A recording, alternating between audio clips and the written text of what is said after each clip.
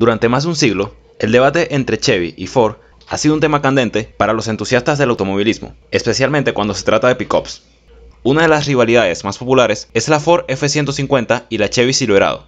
Pero, ¿qué pasa con las camionetas que las precedieron? El debate C10 versus F100 sigue siendo relevante durante esta época. ¿Qué hace que la Ford F100 y la Chevy C10 sean diferentes entre sí? En este video lo averiguaremos.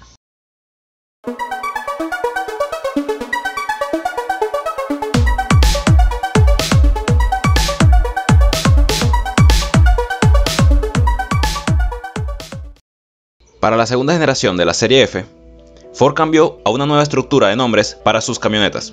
En lugar de la F1, Ford cambió el nombre de su camioneta insignia a F100, agregando dos ceros al final de todas las designaciones de sus camionetas. Entonces, mientras que la Ford F-Series ha existido desde 1948, la F100 no estuvo disponible hasta 1953 y duró hasta 1984. En 1975, Ford lanzó la F-150, esta última era ligeramente diferente a su compañera la F100. Rápidamente se convirtió en la camioneta más popular y eventualmente reemplazó por completo a la F100. Mientras que la Chevy C10 salió en 1960, unos años más tarde que la F100. La C10 duró hasta 1987, cuando fue reemplazada por la siguiente generación, CK. Durante unos 30 años, estos dos camiones dominaron la industria y siguen siendo muy populares entre los entusiastas y coleccionistas por igual.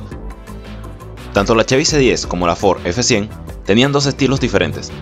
Aunque ambos estilos eran similares en apariencia, Chevy y Ford, obviamente, tenían nombres diferentes para ellos.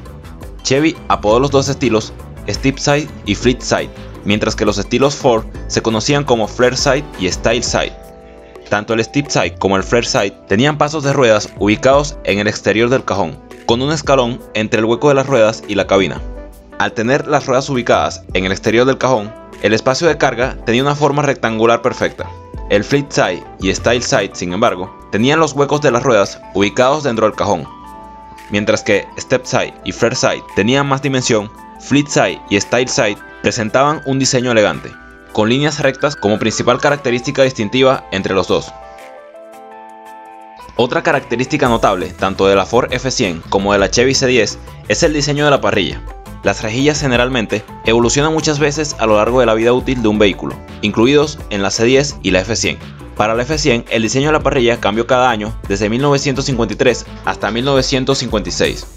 Chevy también actualizó la parrilla para la C10 varias veces, con una nueva parrilla tipo caja de huevos en 1971, antes de cambiar a una parrilla de dos niveles en 1984. Al comparar el exterior de la Ford F100 con el de la C10, todo se reduce a los gustos de cada quien. El interior tanto de la C10 como de la F100 también es relativamente similar, ya que muchos modelos vienen con asientos tipo banco. En 1974, la primera Super Cup de cabina extendida estaba disponible para el modelo F100.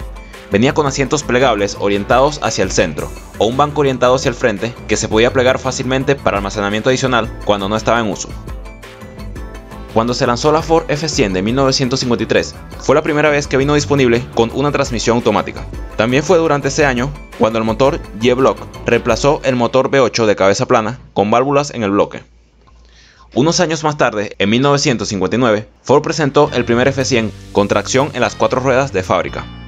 En 1965 se agregó una suspensión delantera Twin I-Beam con resortes helicoidales para camionetas de la serie F de cuarta generación. Para el año 1980, Ford mejoró la aerodinámica y la economía de combustible de la serie F, incluida la F100, pero a esta pickup solo le quedaban algunos años antes de que se suspendiera en 1984 debido a la popularidad de la F150 recién lanzada. La Chevy C10 de primera generación presentaba una suspensión delantera independiente, con fuertes barras de torsión en la parte delantera y resortes helicoidales en la parte trasera.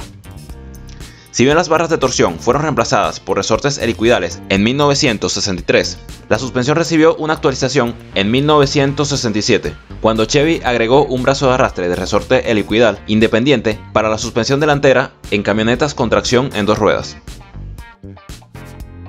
En cuanto al rendimiento, tanto la Chevy C10 como la Ford F100 progresaron a medida que la tecnología se actualizaba, que a su vez hacía que estos modelos se actualizaran constantemente para adaptarse a las necesidades y deseos de los consumidores. Estas camionetas han ayudado a definir la industria de camiones como la conocemos hoy en día. A través de su diseño e ingeniería innovadora, la Chevy C10 y la Ford F100 allanaron el camino para dos de las camionetas más vendidas en Estados Unidos y en muchas partes del mundo, la Ford F150 y la Chevrolet Silverado. Y bueno, eso fue todo por hoy. Déjame en los comentarios cuál prefieres tú, si la F100 o la C10.